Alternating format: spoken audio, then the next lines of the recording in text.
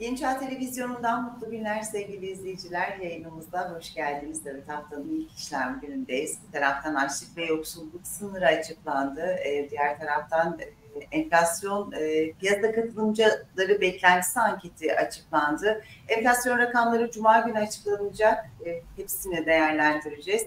E, Yeni Çağ Gazetesi yazarı Murat Sürürlü Özgürgül de karşımızda. Merhaba Murat Bey, hoş geldiniz. Hoş bulduk sevgili Ebru. Evet, e, piyasa katılımcılara e, beklentisi anketi yayınlandı Bloomberg tarafından. E, onlar e, aylık bazda en düşük 2.3, en yüksekte 3.8 bir e, beklentideler e, Nisan ayı için enflasyonda. Enflasyon rakamları da Cuma günü açıklanacak. İlk onu açıklayacak. Onu da merakla bekliyoruz.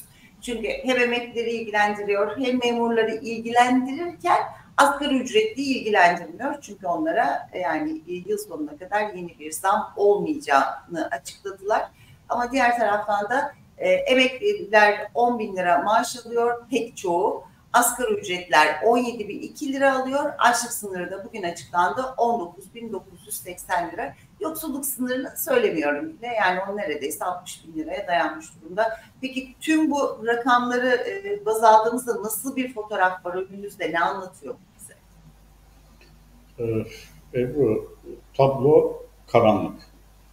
Yani e, emeğiyle çalışan, emeğiyle geçinen veya geçmişte emeğiyle çalışmış, emeğiyle geçinmiş bugün emekli maaşıyla geçinmeye çalışan geniş halk kitleleri eziliyor. Bunu sadece biz söylemiyoruz. Eskiden sadece biz söylüyorduk ama mesela Metin Külünk de söylüyor.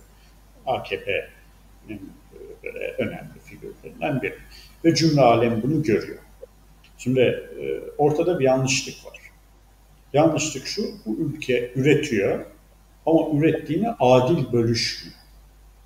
Yani biri sofradan e, kalkarken işte pirzola, bonfile, antrikot hatta istakoz yiyerek kalkıyor.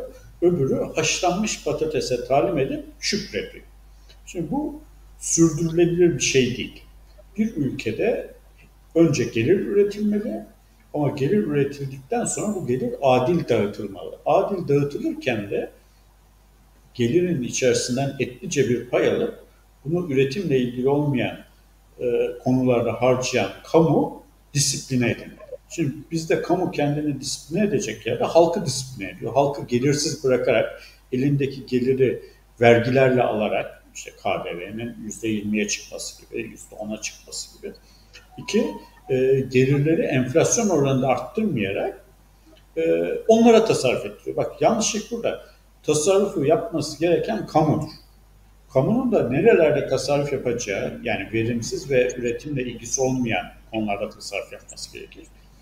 Ee, tam tersine halkın gelirinin artması, harcama yapması gerekir. Şimdi burada enflasyonla ilgili konuyu insanlar karıştırıyorlar. Enflasyonla arz talep dengesi yüzünden fiyat değişimlerinin e, oluşması konusu ayrıdır. Enflasyonun tam olarak tanımı parasal genişlemedir. Şimdi para değer kaybedince paranın fiyatı düşünce, yani siz parayla bir değer olarak, bir mal olarak düşünün. Para değer kaybedince o paranın değiş tokuşta kullanıldığı malların fiyatı yukarıya çıkar. Biz buna enflasyon olarak. Bu o mal ve hizmetlere olan taleple, arzla falan ilgili değildir. Ama siz talebi kısarsanız bu sefer talep ve arzla ilgili işin maliyet hesapları devreye girer. Benim Son Söz gazetesinde yazdığım bir makale var Ebru. Lütfen Özgür onu aşağıya eklesin. Ee, siz talebi baskılarsanız birçok üretici e, ürettiği mal ve hizmeti eskisi kadar satamadığı için e, doğrudan olmayan maliyetler, e, dolaylı maliyetler yüksek gelir fiyat değişir. Ben bunu bir örnekle anlattım. Burada da kısaca geçeyim istersen. Diyelim ki bir lokanta, ya ama o makaleyi lütfen dikkatli okuyun arkadaşlar ve e, katılıp katılmadığınızda altta yorumları yazın. Şimdi bir lokanta düşün, bin tas çorba satıyor. Adamın bir tas çorbanın maliyeti 10 lira, e, doğrudan maliyeti yani işte mercime işlemesi ne dersen 10 lira. Bir de dolaylı maliyetler var. Adamın günlük dolaylı maliyeti de 10 bin lira olsun. Kirası, elektriği, suyu, reklam harcaması, ısıtması, soğutması, personeli bilmem ne. Şimdi sen 10 bin lirayı bin tas çorbaya bölersen tas başına 10 lira maliyet olur. Dolayısıyla senin maliyetin 20 lira olur. %25 kar koyarsan 25 lira o tas, bir tas çorbayı rahat satarsın. Müşteri de memnun olur, patron da memnun olur. Ama sen talebi baskılarsan, herhangi bir şekilde talep düşerse diyeyim. Ee, mesela insanlar eskisi kadar gelir elde edemeyip gidip bir tas çorba içemezse ve dükkanın çorba satma kapasitesi 1000 tastan 500 tası düşerse bu sefer ne olur? Çorbanın maliyetinin değişmediğini düşünerek gene 10 lira olsun. Ama 10 bin liralık dolaylı maliyetleri etkileyemiyorsun. Kira, ben daha az çorba satıyorum diye kirayı düşüremiyorsun. Çünkü kira senin satışına bağlı bir şey değil. 10 bin lirayı bu sefer 500'e bölersen dolaylı maliyetler 20 liraya çıkar. Oldu mu sana çorbanın maliyeti 10 lira artı 20 lira 30 lira? Şimdi dükkan sahibi hiç kar etmese bile eskisine göre daha pahalı satmak zorunda. Ama adam da kar edecek eve ekmek götürecek, çocuğunun okul taksisinin kirasını bilmem neyini ödeyecek. Adam gene %25 kar etmeye kalksa satı, çorbanın satış fiyatı 37,5 liraya çıkar. Bak 25 liradan hiçbir şeye yani hiçbir imalat e, faktörü zam gelmediği halde maaşlar artmasın, elektrik fiyatı artmasın, kira artmasın adam otomatikman sadece sattığı birim adet düştüğü için zam yapmak zorunda kalır. Türkiye'de şu anda yaşanan şeylerden biri bu. İki, bir de adamın o ay maliyetleri yüzde on artsa bu sefer satması gereken rakam 41 lira 25 kuruşa falan çıkıyor. Bir anda 25 liradan bir ay içerisinde 41 40 lirayı evet. geç. Niye? Çünkü adam eskisi kadar satamıyor. Dolayısıyla sen eğer talebi baskılarsan ortaya böyle bir sonuç çıkar. Yani e, iktisat e, bir de öğretilen işte öyle e, talep düşerse fiyat düşer falan filan onlar hikayedir. Fiyatın yani çok basit bir matematiktir. Ve çoğu zaman da çalışmaz. Piyasanın gerçeklerinden kopuktur. Eğer ona itimat eder de sen e, enflasyon yenmeye çalışırsan yenemez. Olmaz. Dolayısıyla halbuki adam bin tas çorba satacağına iki bin tas çorba satabilse, insanların geliri artmış olsa bak bu sefer adam fiyatı aşağı çekebilecek. Ucuzlatacak. Biz buna bizim esnafımız o büyük esnaf kültüründe buna işte sürümden kazanmak der. Her esnaf onu ister. O sağlamdır çünkü sürümden kazanayım. Çünkü zam yaptığında müşterin kaçar. Bunun farkında değiller. Bir, iki, enflasyonun parasal bir olgu olduğunu söylemiştim. Yani paranın değeriyle ilgili bir şey. Para niye değer kaybeder? Sen çok para basarsan para değer kaybeder. Yani banknot matbaasını çalıştırırsan. Ee, iki, parayı basan otorite saçma sapan işler yapar, kötü politikalar uygularsa, enflasyonist politikalar, kötü politikalardan bahsedelim, para değer kaybeder. Sen paranın değeriyle ilgilenmeyip kurlarla ve taleple ilgilenmeye kalkarsa bu sefer ne olur? Ekonomiyi olduğundan da kötü hale getirirsin. Bunu geçmişte gördük işte Nurettin Nebati'nin yaptığı ben kurları kontrol edeceğim diye kur korumalı mevduat hikayesinin sonucunu gördük. Şimdi talep baskılamalarının sonucunu göreceğiz. Yani hem halkımız acı çekecek hem de fiyatlar düşmeyecek. Peki e, siz ekonomideki e, en önemli maddelerden biri güvenlik. Son bir şey ekleyeyim mi? Son bir şey ekleyeyim mi? Sen talebi çok baskılarsan adam zam yaptığı halde de artık satamıyorsa, kurtaramıyorsa en son dükkanı kapatır. Aşçısı, bulaşıkçısı, garsonu, komisi herkes işsiz kalır. E, dükkan sahibi kirasını alamaz patron batar kredisini ödeyemez. Bu sefer başka bir e, çöküşe gidersin ki o enflasyondan bile tehlikelidir. Ben bu noktada kendi kanaatimi söyleyeyim.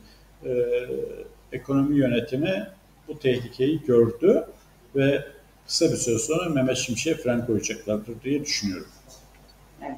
Peki hazır Mehmet Şimşek demişken siz e, her zaman e, işte ekonominin olmazsa olmazı güvendir dersiniz. E, ekonomik güven Nisan'da gerilemiş gibi görülüyor yapılan anketlerde. Ama Mehmet Şimşek şöyle bir açıklama yaptı. Diyor ki artan güven ve öngörülebilirlik sayesinde ülkemiz uluslararası piyasalarda daha uzun vadeli ve geçmiş döneme göre uygun maliyetli dış finansman sağlıyor diyor. Peki bu cümleyi nereye koymak gerekiyor o zaman? artıyor mu piyasada? CDS primlerine söylüyor. CDS primlerinde ciddi bir gerileme var. Ama gerilediği nokta bile batmış ülkeler sınırı. Yani onu söylemiyor. Yani e, burada karşılaştırma yapacaksan mesela Almanya yüzde kaç Almanya'nın CDS birimi, Amerika'nın CDS birimiyle kıyaslaman lazım. O zaman dehşeti o zaman görüyorsun. Ha, e, bu akıl dışı, irrasyonel politikaların uygulandığı dönemde böyle yüzde 800'e falan çıkmıştı. Onlar zaten e, mezarına iki kürek toprak at durumudur. Oradan geriye geldi ama şu andaki durumda gerçekten normal bir devlet için kabul edilebilir bir durum değil. O yüzden düşüyor ama e, ben Mehmet Şimşek'e buradan başka bir veri vereyim. E, doğrudan yatırımlarda e, Türkiye'ye yapılan yatırımdan, doğrudan yatırımdan daha fazlasını Türkler yurt dışına yapıyorlar. Türkler kaçıyor. Orada eksideyiz.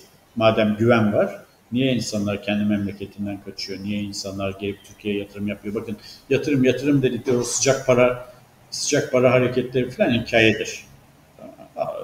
Yani macera perest bir takım paralar vardır. Onlar gelir gider, bono alır, borsaya girer, onu yapar. Bunu önemli olan doğrudan yatırımdır. Yani adam gelecek buraya fabrika yapacak, adam gelecek buraya işte e, otel yapacak, AVM açacak, e, gayrimenkul alacak, doğrudan yatırım bunlardır. Sen bunları kaçırdıktan sonra o sıcak para zaten çok tehlikeli bir şeydir doğası itibariyle.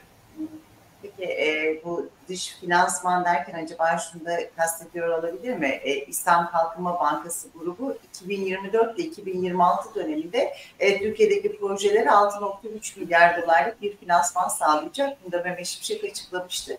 Herhalde e, ona istinaden kurulmuş cümlelerdir diye düşünüyorum da. Yani 6.3 milyar dolar iki sene için de projelere yatırılması yani, için. Dişim, dişimizin, kolluğunu, dol, dişimizin kolluğunu doldurması iyi bir şeydir. E, Dünya Bankası'nın da Türkiye'deki yatırımlara e, kaynak aktarması iyi bir şeydir. Ama bu e, borç almaktan çok daha önemlisi borcun kullanımıdır. Yani e, şöyle örnek vereyim, borç almak tehlikeli bir iştir. Niye? E, e, ödeyemezsen batarsın. E, bu kişi içinde, şirket içinde, devlet içinde böyledir. Osmanlı'nın nasıl battığını, borçlarını ödeyemeyip düğün umumiyenin ocağına nasıl düştüğünü hepimiz biliyoruz. İktisat tarihi daha iyi biliyorlar. Ama birçok kişi bir hayal aleminde yaşadığı için düğün umumiyeden niye düğün umumiyelik olduğumuzu bilmiyorlar. Onlar e, düğün umumiyeye imza atan e, Abdülhamit'i Ulu Hakan olarak görüyorlar. Şimdi borcu eğer üretken ve döviz kazanan bir işe yatırmazsan Ebru, dövizle aldığın borç çok tehlikelidir. Yani e, üretken olacak. Yani gelecekteki gel, gelecekte sana gelir yaratacak. Şimdi borç iki türlüdür en temelde. Gelecekteki gelirini tüketen borçlar, gelecekte gelir üretmekte kullanılan borçlar. Yani sen gittin kendine güzel bir kıyafet aldın, onu da taksitle aldın. Ya da beş yıldızlı dünya turuna çıktın, onu da taksitle veya bank tüketici kredisi yaptın. Bu gelecekteki gelirini tüketen ve karşılığında da elinde bir varlık yaratmayan bir borçtur. Ama gittin diyelim ki bir e, kepçe aldın. Bunu da gittin e, gene krediyle aldın. Sonuçta o kepçeyi çalıştırarak borcunu ödeyebilirsin. Hatta kendine gelir yaratabilirsin. Ve sıkıştığın zaman kepçeyi satarak borcunu kapatabilirsin. Evet. evet. Borcu almak kadar nerede kullandığın da önemli. Sonuçta sen borcu burada işte kimsenin uçmayacağı havaalanları falan yaparsan o borcu ödeyemezsin. Evet. Peki çok teşekkür ediyorum. Yine değerli görüşlerinizi paylaştınız. Pazartesi günü yeniden görüşmek dileğiyle diyorum. Hoşçakalın. Hoşçakalın.